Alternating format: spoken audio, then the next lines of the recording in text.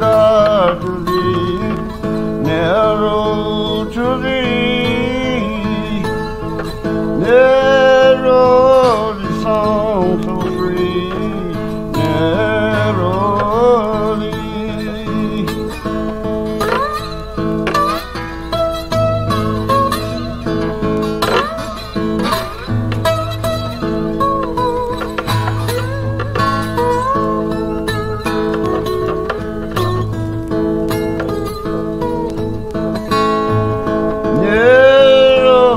my girl.